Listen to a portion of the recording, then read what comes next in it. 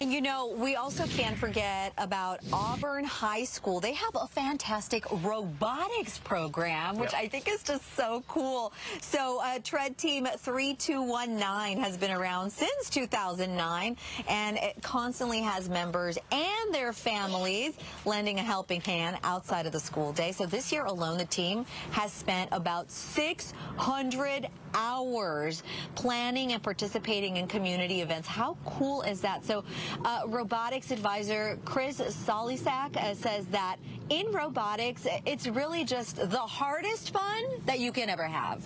In uh, First Robotics, we have six weeks to design and build a five foot tall, 120 pound robot from absolutely nothing to fully functioning. It's probably the best thing that I've ever been involved in.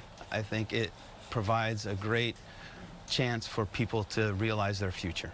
We've had a lot to work through together, and I think it's only brought us closer with um, our robot falling apart literally at the competition, and also just trying to build the robot in six weeks with the working back from COVID, trying to get the entire team up and running again with nobody having any like knowledge on how to do things or having a lot of materials to work with.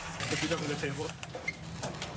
Yeah, future engineers right here. The team is very involved in the community. They participate in outreach events like the Auburn Clean Sweep and Auburn Kids Day. The team's next competition is in October at Tahoma High School for their off-season girls generation event. So many cool programs.